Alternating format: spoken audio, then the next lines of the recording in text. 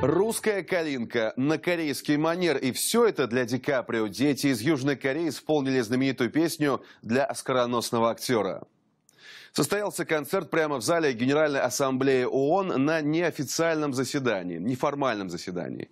Присутствовали там не только представители стран-членов организации, но и посланники мира. Среди них был и сам Лео, а с ним и Майкл Дуглас, Стиви Уандер. Выступление детей, одетых в костюмы разных национальностей мира, сорвало овации зрителей.